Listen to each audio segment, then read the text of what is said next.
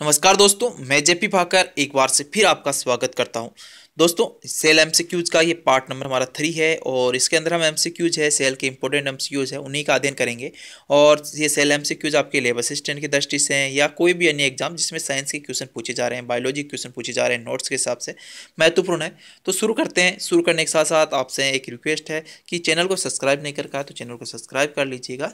साथ में bell icon है, उसको ज़रूर दबा दीजिए, जो घंटे का आइकन है, उसको दबा दीजिए, जिससे आपके पास हमारे हर वीडियो का नोटिफिकेशन पहुँचता रहे। चलिए शुरू करते हैं। आज के इंपॉर्टेंट क्वेश्चन आंसर माइट्रोकोंडिया तथा क्लोरोप्लास्ट में उपस्थित राइबोसोम होता है देखिए माइट्रोकोंडिया और जो क्लोरोप्लास्ट है उसके अंदर जो उपस्थित राइबोसोम है वो कौन सा होता है सत्तर एस अस्सी एस पचास एस या साठ एस तो दोस्तों सही आंसर आपका यहाँ से हो जाता है आपका राइबोस माइट्रोकोंडिया तथा क्लोरोप्लास्ट में उपस्थित राइबोसोम है ये आपका सत्तर एस होता है और देखिए ये दो उप इकाइयों के अंदर होता है और वो उप इकाइयाँ होता है आपकी यहाँ पे कौन सी होती है? ये आपको बताना है। तो ये आप कमेंट कर सकते हैं कि सत्तर एस है, राइबोसोम है, ये कौन कौन सी दो इकाइयों से मिल के बना होता है? हालाँकि मेरे द्वारा आपको कमेंट में बता दिया जाएगा, पर आप कमेंट ज़रूर कीजिएगा इसका। निम्नलिखित में से कौन सा कोशिकांग डीएनए रखता है? तो दोस्तों कोशिकांग है, वो डीएनए किन के द्वारा रखा जाता है? तो दोस्तों, सही आंसर इसका आपका हो जाता है। ऑप्शन नंबर चार, आपका माइट्रोकोंडिया है, वो डीएनए रखा, रखता है। आपको पता है जीन और जीन आपको पता है माइट्रोकोंडिया पे ही लगे होते हैं। तो इस प्रकार से माइट्रोकोंडिया आपका ऑप्शन नंबर है, यहाँ से सही हो जाता है। निम्नलिखित में से कौन सा कोशिकांग पादप कोशिकाओं में नहीं पाया जाता? देखिए, पादप कोशिकांग है, पादप कोशिकाओं में इनमें से कौन सा नहीं पाया जाता है? तो देखिए, लवक पाई जाती है, सूक्ष्म नलिकाएँ सिफिरोम्स और तारकाएँ तो दोस्तों, यहाँ से ऑप्शन नंबर जो डी डी है तारका है, वो नहीं पाया जाता है। तो यहाँ से सही आंसर हमारा डी हो जाएगा। अगले प्रश्न की तरफ़ बढ़ते हैं। कौन सा कोशिकांग प्रोटीन संश्लेषण में प्रमुख भूमिका निभाता है? तो देखिए लाइसोसोम एवं सेंट्रोसोम तो यहाँ पे बात हो रही है प्रोटीन संश्लेषण की। तो देखिए प्रो, प्रोटीन संश्लेषण के लिए आपको पता है राइबोसोम होना ज़रूरी है माइट्रोकोंडिया होना ज़रूरी है। तो आपका यहाँ पे कौन सा ऑप्शन नहीं सही होगा? तो दोस्तों हम देखते हैं सही आंसर हमारे यहाँ से क्या हो जाता है। तो ऑप्शन नंबर जो बी है एंडोप्लास्टिक रेटिकुलम एवं राइबोसोम।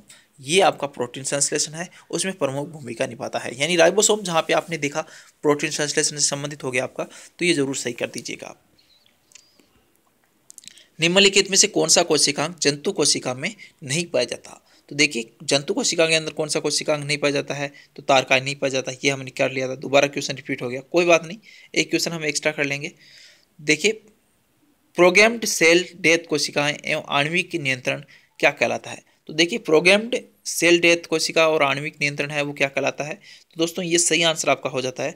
देखिए प्रोग्राम्ड सेल डेथ कोशिका और आणविक नियंत्रण है वो कहलाता है एंजिंग क्या कहलाता है? एंजिंग तो ध्यान रखिएगा एंजिंग ध्यान रखिए। और अगले प्रश्न की तरफ़ पढ़ते हैं। सत्रह एस राइबोसोम किन दो उप इकाइयों से बना होता है? तो जैसा मैंने आपसे कहा था कि इसका आंसर है आपको कमेंट करना है। चलिए मैं आपको अब बता देता हूँ। सत्तर एस राइबोसोम है वो पचास एस और तीस एस से, से बना होता है। और जो अस्सी एस है, वो बना होता है चालीस और साठ से। तो ये भी आपको थोड़ा सा ध्यान रखना है आपको। तो सही आंसर हमारा यहाँ से हो जाता है पचास एस और तीस एस और अस्सी एस राइबोसोम की बात करें तो वो बना होता है आपका चालीस और साठ से। चलिए अगले प्रश्न की तरफ़ बढ़ते हैं। कौन सा अंगक प्राय जंतु कोशिका में उपस्थित नहीं होता है? तो देखिए, इसमें से कौन सा अंग है जो प्राय जंतु कोशिका में उपस्थित नहीं होता? तो जंतु कोशिका के अंदर आपको पता है, लवक है, वो नहीं पाई जाती। बाकी गालजिका माइट्रोकोंडिया और अंतपद्विचलिका दोनों के अंदर पाई जाती है। अस्सी एस राइबोसोम किन दो इकाइयों को बना होता है? ये क्वेश्चन हम कर चुके हैं? तो पचास एस और तीस एस से बना होता है। माफ़ कीजिएगा अस्सी एस के लिए हम कर चुके थे अस्सी एस के लिए साठ और चालीस और सत्तर एस है वो पचास और तीस ऐसे बना होता है। लाइसोसोम कार्य करते हैं तो देखिए लाइसोसोम का कार्य क्या होता है तो लाइसोसोम का कार्य होता है अंत कोशिकाएँ कोशी के पाचन में। और कई बार क्या करता है कि कोशिकाओं का क्या पाचन अधिक कर लेता है, जिसके कारण से इसे आत्मघाती थैली के नाम से भी जानते हैं कोशिका को नष्ट कर देता है। तो ये भी ध्यान रखना है आपको। सोलेनाइड किस संरचना से संबंधित है? तो सोलेनाइड है केंद्रक केंद्रिका, क्रोमेटिन या न्यूक्लियोटाइड। इनमें से किस संरचना से संबंधित है? तो दोस्तों, सही आंसर आपका हो जाता है क्रोमेटिन संरचना, जिसको आप कहते हैं गुणसूत्र है। उनसे संबंधित है सोलेनाइड। माइट्रोकोंडिया का भीतरी वलन कहलाता है। तो देखिए माइट्रोकोंडिया का भीतरी वलन है, वो आपका क्या कहलाता है? क्रिस्टी, ध्यान रख लीजिएगा। क्रिस्टी है, वो क्या कहलाता है? माइट्रोकोंडिया का भीतरी वलन। क्रोमेटिन का उपयुक्त अभिरंजन है तो दोस्तों क्रोपिन, क्रोमेटिन है, उसका उपयुक्त अभिरंजन की बात करें तो वो है एसिटोकार्मिन। चलिए अगले प्रश्न की तरफ़ बढ़ते हैं। माइट्रोकोंडिया किसमें अनुपस्थित होता है? माइट्रोकोंडिया है वो येस्ट, कवक, जीवाणु या हरे सवाल। इनमें से किसमें है जो माइट्रोकोंडिया है वो नहीं पाया जाता? तो दोस्तों यहाँ से सही आंसर आपका यहाँ से हो जाता है जीवाणु। जीवाणु के अंदर है वो आपका माइट्रोकोंडिया है वो नहीं पाया जाएगा। तो ये एक अपवाद भी है इम्पोर्टेंट भी बनता है तो ध्यान रखना इसको। और ये जो भी क्वेश्चन है, इसकी पीडीएफ फ़ाइल भी मैं आपको अवेलेबल करा दूँगा अपनी वेबसाइट जे डॉट कॉम पे। वहाँ से भी इसको डाउनलोड कर लीजिएगा पीडीएफ और इनको रेट डालिएगा, क्योंकि इनमें से क्वेश्चन ज़रूर आएँगे। आप विश्वास मानिए, ये क्वेश्चन बहुत अच्छे क्वेश्चन है, क्योंकि एन से लिए हुए हैं और कुछ अन्य बुक से भी इनको हेल्प से मेरे द्वारा रेफरेंस बुक से भी लिए गए हैं तो इनको थोड़ा सा थ्रेट डालिए। मैं ये कहूँगा, आपका एग्ज़ाम ज़रूर सक्सेस होगा। एक सेल का क्वेश्चन आता है तो यहाँ से ज़रूर आएगा। जीवाणुओं में निम्न में से क्या अनुपस्थित होता है? तो दोस्तों, जीवाणु है, उसके अंदर हिस्टोन है, वो अनुपस्थित होता है।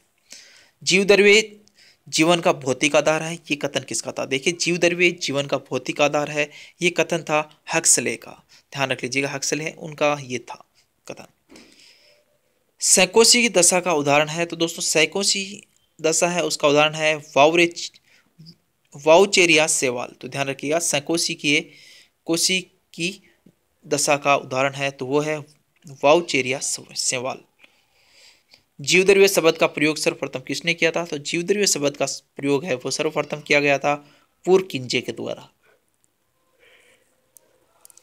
तो ये ध्यान रखना है जीवद्रव्य शब्द का प्रयोग सर्वप्रथम किया गया था पूर्व किंजे के द्वारा।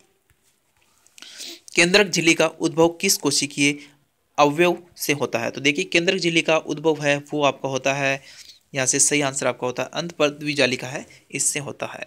लास्ट क्वेश्चन आज का हमारा, यहाँ पे इंपॉर्टेंट क्वेश्चन थे ये सारे। वीडियो अच्छा लगता है तो लाइक कीजिएगा। साथ ही कमेंट ज़रूर करें। कमेंट आपके कमेंट से हमारा हौसला बढ़ता है और हम आपके लिए नए वीडियो लेके आते हैं। तो कमेंट ज़रूर किया करें लाइक किया करें वीडियो को, अपने दूसरे दोस्तों को शेयर किया करें। तो न्यूक्लियस की खोज का सर्व, खोज सर्वप्रथम किसने की थी? तो दोस्तों न्यूक्लियस है, उसकी खोज है वो की गई थी यहाँ पे रॉबर्ट ब्राउन के द्वारा। तो ये दोस्तों इंपॉर्टेंट एमसीक्यूज थे। आगे हम दो पार्ट और लेके आएँगे। तो उम्मीद करूँगा कि वो भी आपको पसंद आएँगे। तब तक लिए जय हिंद, जय भारत।